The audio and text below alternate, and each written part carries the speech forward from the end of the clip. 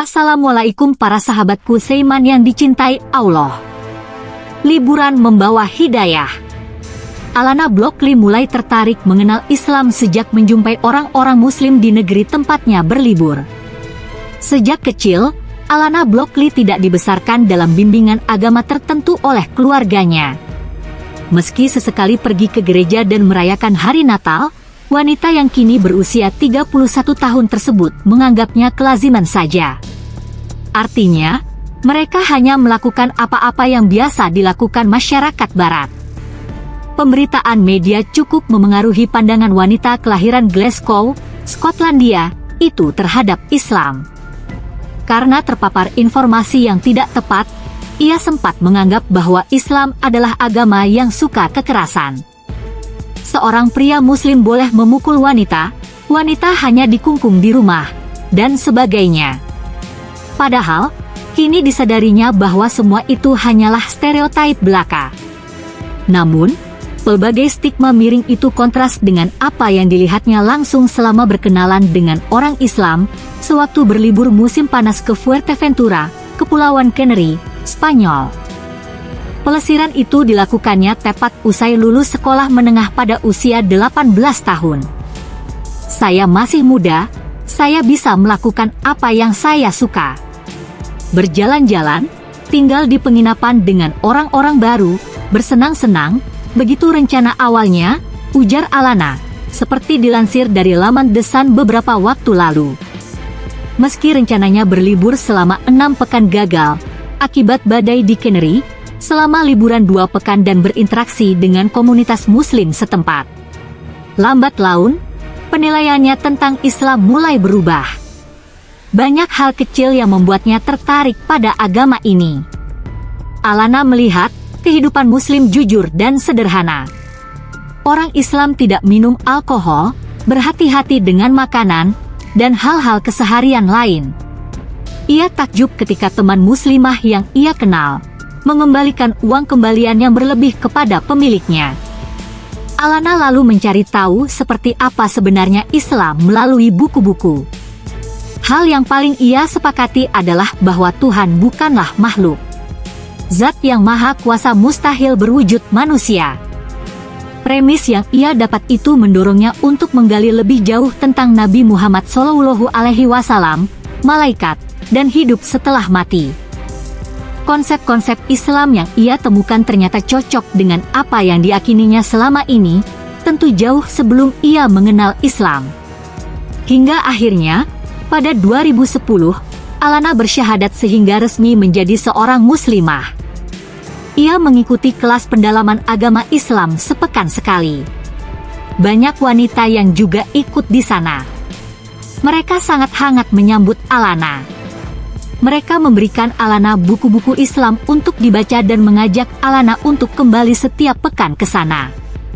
Saat mempelajari Islam, Hal pertama yang Alana dalami adalah bagaimana Islam memperlakukan wanita, apa itu hijab, mengapa wanita perlu berhijab, peran wanita dalam keluarga dan rumah tangga.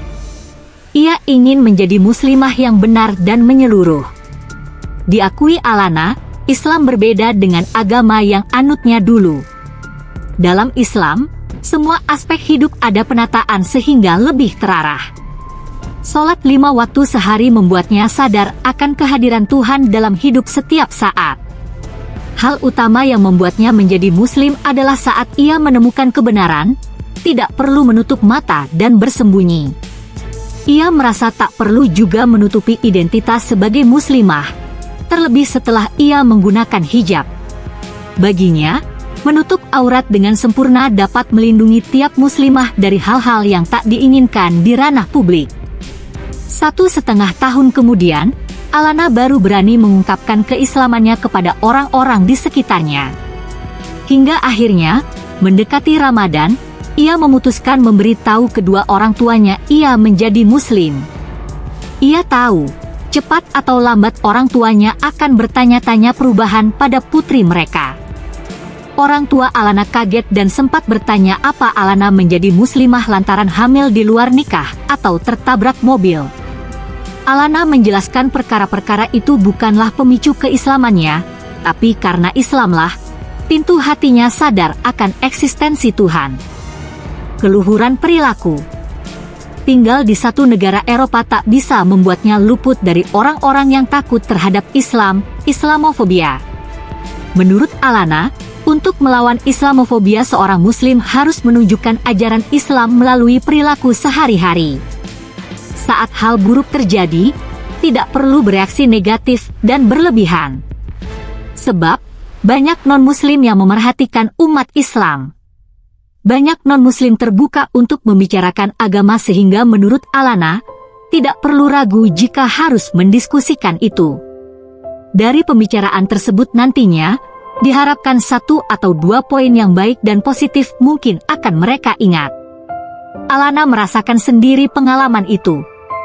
Setelah bertukar cerita tentang agama, ibunya memutuskan berhenti merokok.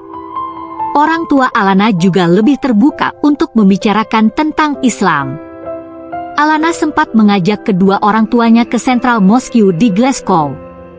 Mereka sempat agak ragu dan bertanya apakah mereka harus menggunakan pakaian yang sama seperti Muslim. Alana meyakinkan mereka untuk tampil apa adanya, Muslim terbuka dan menerima semua orang. Ayah Muslimah ini jadi banyak tahu tentang Islam setelah kunjungan itu. Bagi Alana, menjadi seorang pemeluk agama Islam tidak mengubah sifatnya sama sekali. Wanita ini masih tetap menjadi seperti dahulu, seorang anak dari kedua orang tua yang amat dicintainya. Saat Natal tiba, bertanya-tanya apa yang harus dilakukannya setelah ia menjadi muslimah. Saya tidak merayakan Natal, tapi saya tetap membantu keluarganya yang masih merayakan. Agak sedikit berkompromi memang, kata Alana. Ia membujuk dan bicara baik-baik dengan keluarganya untuk memakan daging yang halal saja bujukan itu berhasil, keluarganya memilih memakan kalkun saat Natal meski minuman beralkohol masih menjadi hidangan favorit keluarganya. Mereka satu-satunya keluarga yang saya miliki. Harus pelan-pelan juga memahamkan mereka tentang apa yang boleh saya makan dan tidak, kata Alana. Ia bersyukur, kedua orang tuanya paham. Ayah dan ibunya bahkan berhati-hati saat membeli makanan dan mengecek apakah makanan yang mereka beli halal atau tidak agar Alana bisa nyaman dan aman mengonsumsinya. Itulah kisah mualafnya Alana. Semoga bermanfaat, jangan lupa sholat ya.